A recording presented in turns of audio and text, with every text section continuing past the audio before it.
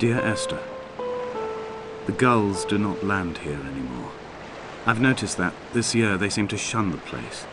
Maybe it's the depletion of the fishing stock driving them away. Perhaps it, perhaps it, perhaps it, perhaps it, perhaps it, perhaps it, perhaps it's me.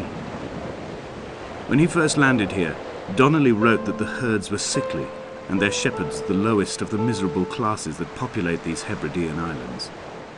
Three hundred years later, even they have departed.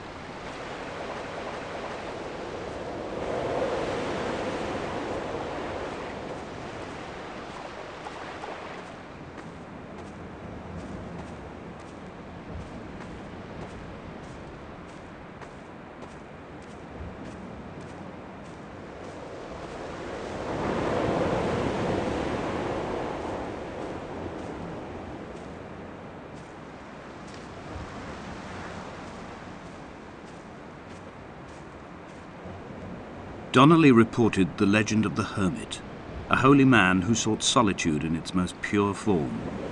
Allegedly, he rode here from the mainland in a boat without a bottom, so all the creatures of the sea could rise at night to converse with him.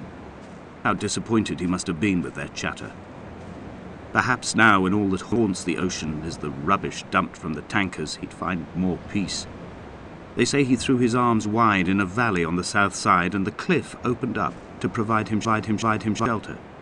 They say he died of fever 116 years later. The shepherds left gifts for him at the mouth of the cave, but Donnelly records they never claimed to have seen him. I have visited the cave and I have left my gifts, but like them, I appear to be an unworthy subject of his solitude.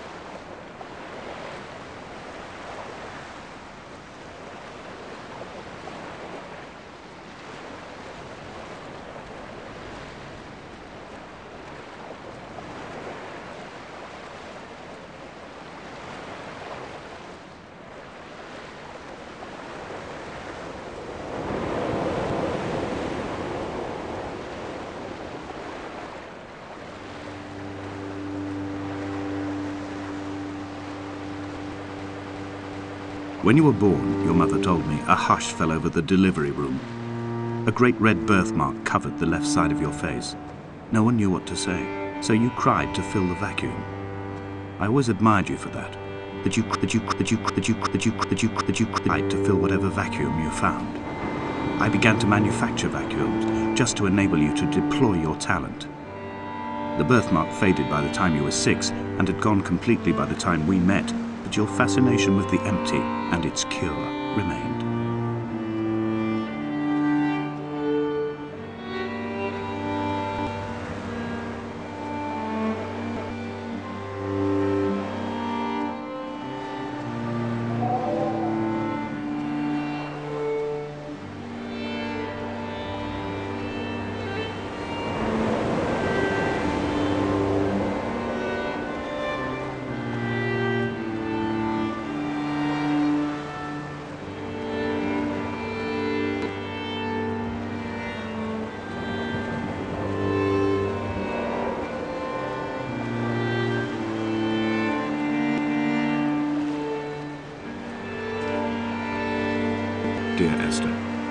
I found myself to be as featureless as this ocean, as shallow and unoccupied as this bay, a listless wreck without identification. My rocks are these bones, and a careful fental, fental, fental, fental, fental, fental, fental, fental, to keep the precipice at bay. Shot through me caves, my forehead a mount. This aerial will transmit into me so.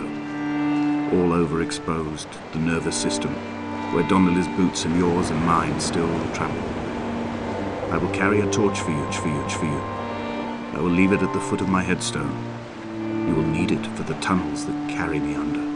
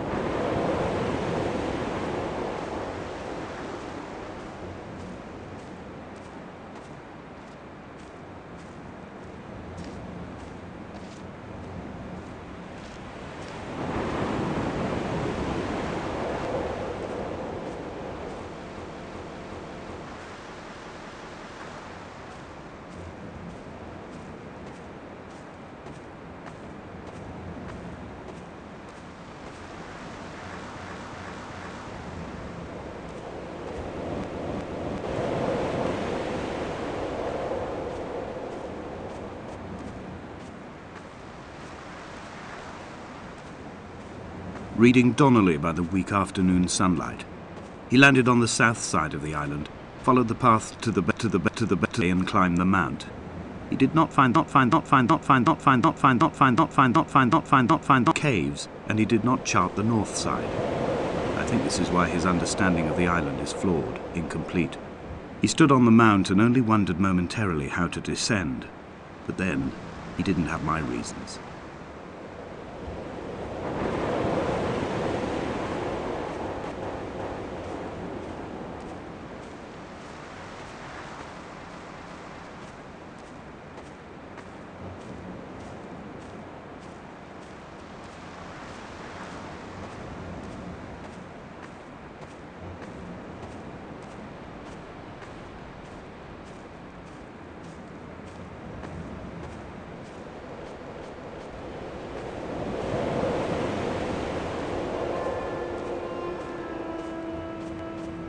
When someone had died or was dying, or was so ill they gave up what little hope they could sacrifice, they cut parallel lines into the cliff, exposing the white chalk beneath. You could see them from the mainland or the fishing boat, and know to send aid or impose a cordon of protection, protection, protection, protection, and wait a generation until whatever pestilence stalked the cliff paths died along with its hosts.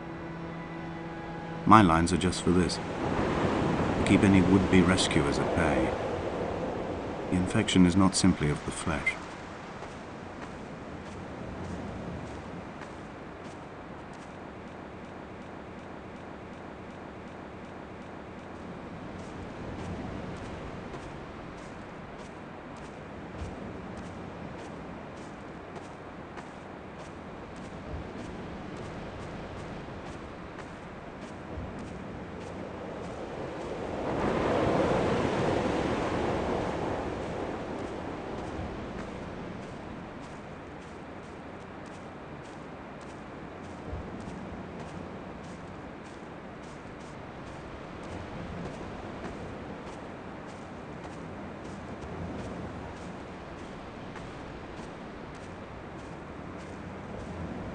They were God-fearing people, those shepherds. There was no love in the relationship. Donnelly tells me that they had one Bible that was passed around in strict rotation. It was stolen by a visiting monk in 1776, two years before the island was abandoned altogether. In the interim, I wonder, did they assign chapter and verse to the stones and grasses, marking the geography with a superimposed significance? That they could actually walk, walk, walk the Bible and inhabit its contradiction.